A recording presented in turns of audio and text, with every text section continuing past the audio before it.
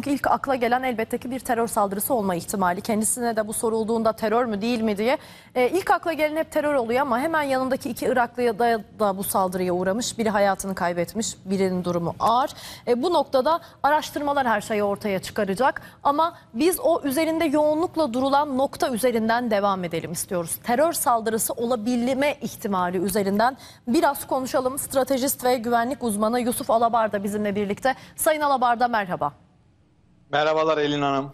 Sayın Alabarda şimdi olay duyulur duyulmaz hepimizin aklına gelen şey acaba bir terör saldırısı mıydı? Koca bir soru işareti vardı bu sorunun yanında. Neden? Çünkü bölge aslında önemli bir bölge. Son dönemde Türkiye ve Irak Kürt Bölgesel Yönetimi arasındaki ilişkiler, kabinenin yeni kurulmuş olması. Eğer bunları göz önüne alacak olursak bir terör saldırısı olma ihtimali üzerinden hareketle saldırıda olağan şüpheliler eğer ki bir terör saldırısıysa kimler olabilir, kim olabilir? Yani son 40 yılını terörle mücadeleyle geçirmiş bir ülkede Kuzey Irak'ta tam da pençe harekatı devam ederken bir Türk diplomatının hunharca şehit edilmesi ister istemez akla terör konusunu getiriyor. Mutlaka bunları sizin de zikrettiğiniz gibi nakıs bilgiler ile konuşuyoruz. Yani önümüzdeki süreç içerisinde bunun bir terör saldırısı olup olmadığı daha da netleşecek. Ama terör saldırısı olma ihtimali üzerinden hareket eder ve bu konu üzerinden e, konuyu dillendirirsek e, Türkiye Cumhuriyeti'nin yönetmiş olduğu, yürütmüş olduğu pençe harekatı e, ve sizin de zikrettiğiniz gibi Irak'taki bölgesel yönetim ile Kerkük'ü de kapsayan referandum sonrası gerilen ilişkilerin tekrardan rayına oturtulması kuşkusuz akla Türkiye Cumhuriyeti Devleti ile Irak'taki hem merkezi hükümetin hem de Irak'taki bölgesel yönetimin arasındaki ilişkileri bir şekilde sekteye uğratmak maksatlı bir operasyon olabileceğini bize hatırlatıyor. Bir de saldırganın Türk diplomatlar oraya girmeden önce restorana gelmiş ve orada bulunuyor olması e, içeriden bir şekilde bilginin sızarak e, buraya e, konunun taşınmış olması ihtimalini de hiç kuşkusuz e, akıllara getiriyor. Bunun tabii ki önümüzdeki süreç içerisinde göreceğiz ama hı hı. E, ben e, olayın Iraklıların da e, burada bir şekilde hayatını kaybetmesi olayın terör saldırısı olmama ihtimalini kuvvetlendirmez diyorum. Yani pekala Türkiye'ye yönelik olarak gerçekleştirilebilecek bir saldırıda Türk diplomatlarla yakın ilişki içerisinde, arkadaşlık ilişkisi içerisinde, teşriki mesai içerisinde olan Iraklılar da olabilir. Dolayısıyla bunların da PKK tarafından hedef alınması hiç kuşkusuz bizi şaşırtmaz diye dillendirmek isterim.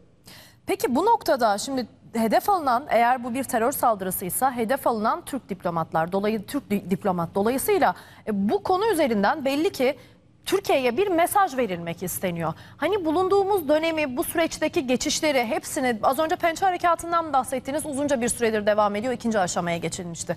Bir yandan S-400'ü konuşuyoruz. Bir yandan Türkiye'nin uzunca bir süredir devam eden terörle mücadelesi var. Eğer bu bir terör saldırısıysa belli ki bir mesaj verilmek isteniyor. O zaman o mesaj ne olabilir? Mesaj başlığının altını hangi cümlelerle doldurabiliriz?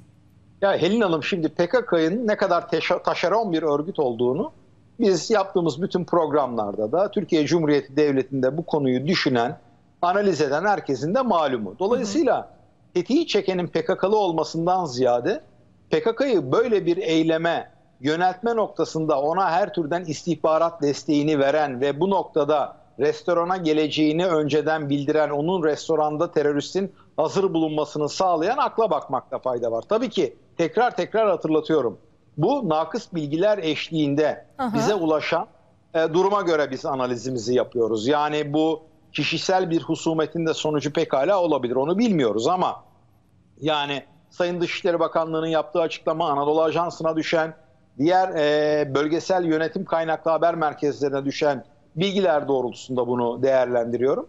Ben Türkiye Cumhuriyeti Devleti'nin Kandil'deki bu taşeronlaşmış örgütü kuşatmaya yönelik olarak harekatını sadece pençe harekatıyla da limitlememek lazım. Onun evveliyatında bölgedeki açmış olduğu 11'in üzerindeki irili ufaklı üst vasıtasıyla kuşatıldığını e, söyleyebilirim. Hı hı hı. Bununla da yetinilmedi. Türk Silahlı Kuvvetleri terör örgütünün Kandil'deki en önemli elebaşlarını etkisiz hale getirmeye başladı.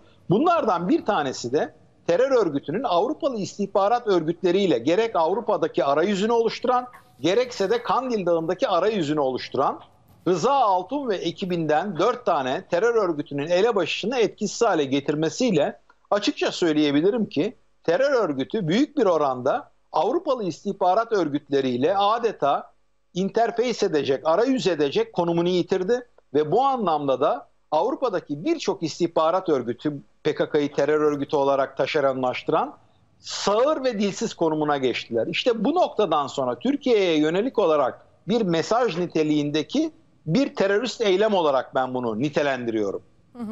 Peki bu noktada böylesi stratejik noktalarda e, çalışanların, Türk diplomatların güvenliği e, anlamında acaba Türkiye bir alarm durumuna geçer mi? Seviyeyi artırır mı? Biraz daha güvenlik önlemleri artırılabilir mi? Gerçi bahsedilen yer az önce TRT Kürdi muhabiriyle bir saat önce Sayın Alabar'da konuştuk, görüştük. Kendisi bölgenin çok güvenli bir bölge olduğundan yani son dönemde burada lüks binaların yapıldığını söyle. O bölgede lüks binaların yapıldığını, villaların yapıldığından bahsetti. Güvenlik kameralarının olduğunu söyledi. Hani şöyle bir baktığımızda çok güvenli bir alandan bahsediyoruz ama hani terörün nerede nasıl kendini göstereceği belli olmuyor. Acaba Türkiye diplomatlarının güvenlik seviyelerini artırabilir mi bu noktadan sonra böylesi bölgelerde?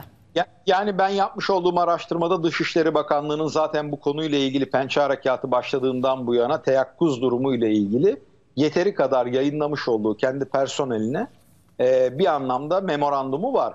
E, fakat şartlar ne olursa olsun yani Erbil'in güvenli olması bu şekilde bir restoranda alçakça bir eylem gerçekleştirilmeyeceği anlamına gelmiyor.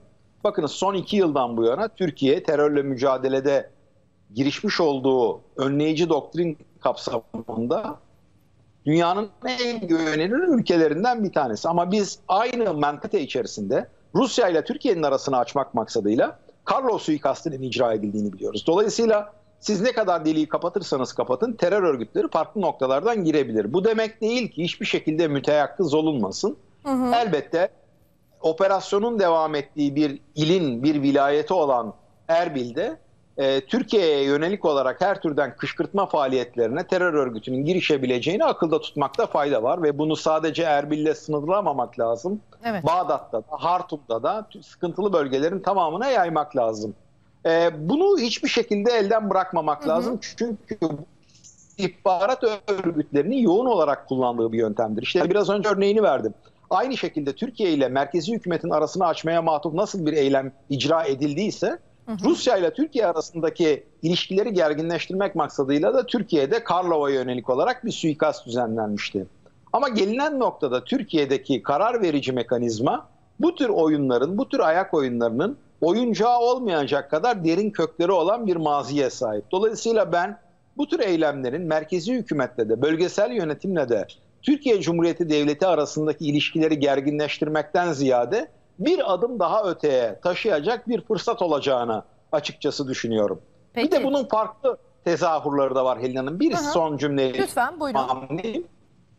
Hatırlarsanız Sayın Trump'ın Suriye'den asker çekme kararı aldığında hemen arkasında bir restoranda yine yemek yemek üzere olan Amerikan özel askeri firmasına mensup 4 kişinin öldürüldüğüne şahitlik ettik. Evet bombalı bir saldırı sonra- düzenlenmişti. O noktadan sonra oluşturulan algı neydi? O da şuydu. Suriye'yi asla terk etmemeliyiz. Bakın orada hala DAEŞ canlı. Dolayısıyla bu tür algı operasyonları, bu, bu tür ülkeler arasındaki ilişkilerin gerilmesini niyetleyen istihbarat örgütlerinin çalışmaları her daim mevcuttur. Ama Türkiye Cumhuriyeti Devleti biraz önce de zikrettim. Nevzuhur bir devlet değildir. Dolayısıyla bunun analizini yaparak bunun arkasında tetiği çekenin, tetiği çekmek için onu motive edenin kim olduğu kısa zaman içerisinde hep birlikte ekranlarda biz de sizinle birlikte paylaşırız. Peki Sayın Alabar'da çok teşekkür ediyoruz yayınımıza katıldığınız Ben için. ederim. Şimdi Sayın Alabar'da da e, iki ülke arasındaki ilişkilerin de aslında biraz daha artması noktasında e, bu işin bir yansıması olacak demişti.